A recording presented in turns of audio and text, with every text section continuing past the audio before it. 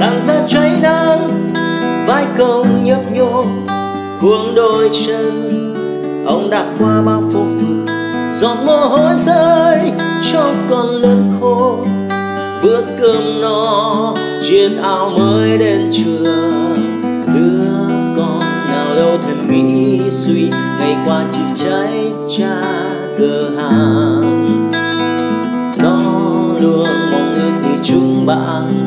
Cha của nó không là ông.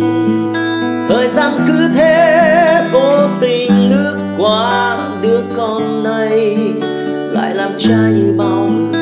Chợt trong ký ức của người cha già gánh cho con bao năm tháng nhọc nhằn. Rồi, xin chào các bạn.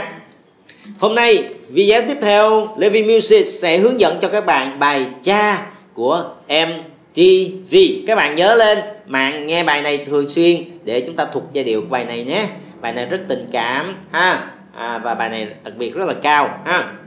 Nhưng chúng ta chỉ chọn chọn tông đơn giản và vừa phải để các bạn có thể dễ hát. Chúng ta chọn chơi bài này ở tông mi thứ giống như bài đầu tiên ngôi nhà hạnh phúc. Vì vậy tại sao khi mà chúng ta chọn bài thì chúng ta chọn cái tông nó gần gần giống nhau tại vì nó sẽ lặp lại những tông cũ à, những cái hợp âm cũ giúp cho chúng ta dễ học hơn. Mỗi bài như vậy chúng ta dần dần tiếp xúc một đến hai hợp âm mới thôi vì nhiều quá chúng ta sẽ dễ nản. Đó là phương pháp sư phạm. Rồi chúng ta làm quen với bài này với những hợp âm sau. Đầu tiên là mi thứ. Chúng ta học rồi. Tiếp theo là hợp âm son trưởng.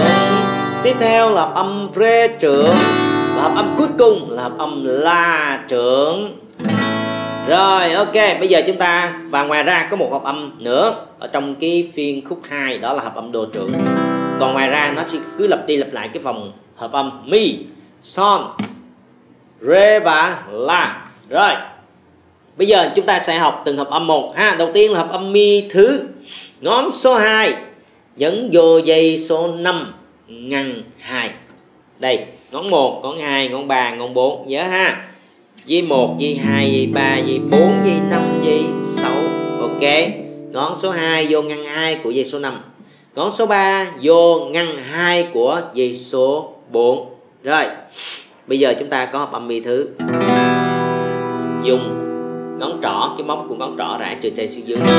Rồi, tiếp theo hợp âm son. Chúng ta sẽ chơi son kiểu này cho nó hay. Ngón 1 nhấn vô ngăn 2 của dây 5 ngăn 2 dây 5 nhé các bạn, ngón 1 ngón 2 chúng ta nhấn vào ngăn 3 của dây số 6 ngăn 3 ngón 2 ngăn 3 dây 6 ngón số 3 nhấn vào dây số 2 ngăn số 3 ngón cuối cùng là ngón út.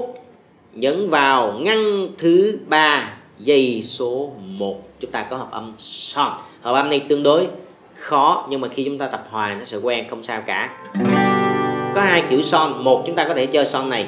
Ngón 2 vào dây số 5 ngăn 2 ngón 3 vào dây số 6 ngăn 3 và ngón út vào ngăn 3 dây số 1 và thường chúng ta chọn chơi son này cho nó hay. Son đầu tiên tôi hướng dẫn. Đó nghe nó hay hơn đúng không? Đó. Rồi tiếp theo đó là hợp âm. Um, rê trưởng. Ngón số 1 vô dây số 3 ngăn số 2 ngón số 2 vô ngăn thứ hai dây số 1 ngón số 3 vô dây số 2 ngăn số 3 có hợp âm rê trưởng cuối cùng, hợp âm la trưởng. Chúng ta có thể đổi qua chơi la 2 cho nó hay.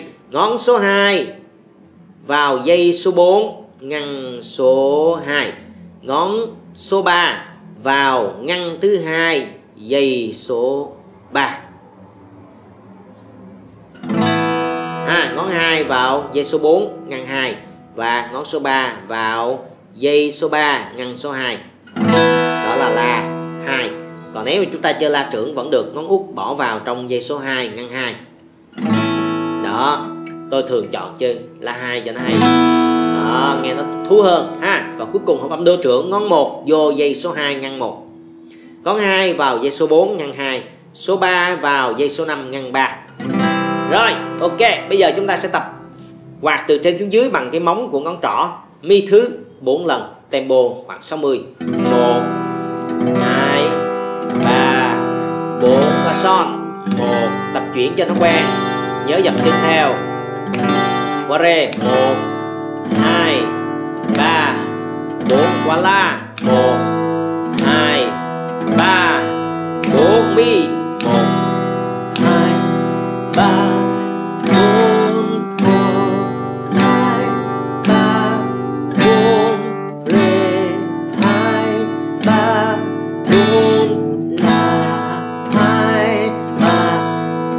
bây giờ chúng ta tăng tempo tốc độ đánh nhanh lên.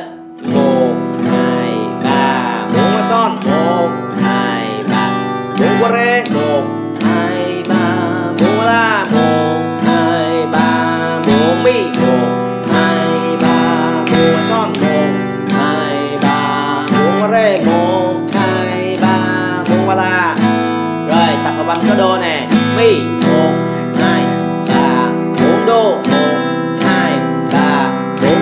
một, hai, ba, bốn, la, một, hai, ba, bốn. Sau khi chúng ta đập được như vậy, tay trái chuyển hợp âm thuần thục rồi, chúng ta chuyển qua tay phải.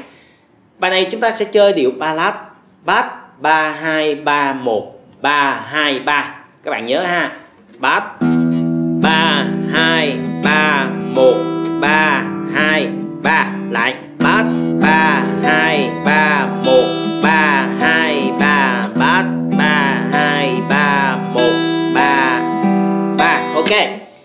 bây giờ mình sẽ tập hợp âm mi thứ ha. Các bạn nhớ nè. Ha bắt rồi, dây ba. Ba, hai. Rồi, ba, một. Rồi, ba, hai, ba. Bắt ba, hai, ba, một. Ba, hai, ba. Rồi, ráp hợp âm vào nhé. Bắt mi đây. Rồi bắt son đây. Đó bắt rê là dây số 4 bắt la, dây số 5 rồi bắt đô. Đô trưởng là dây số 5 luôn. Ha, rồi, bắt đầu từ mi, chơi điệu ballad nhé. Bát ba, hai, ba, một, ba, hai, ba. Son bát ba, hai, ba, một, ba, hai, ba rê la. Nhớ dập chân theo nha các bạn. Mi son. Rê la. Làn da cháy nắng. Rap nhạc vô. Vai công nhấp nhô. Rap lời vô buông đôi chân. Ông đã qua bao phố phường giọt mồ hôi rơi cho con lớn khô. Bữa cơm no chiếc áo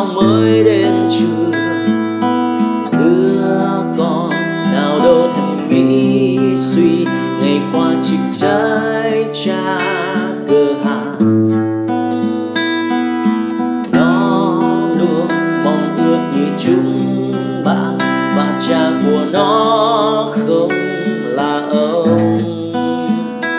Thời gian cứ thế, vô tình lướt qua đứa con này lại làm cha như bao người chợt trong ký ức. Bóng người cha già gánh cho con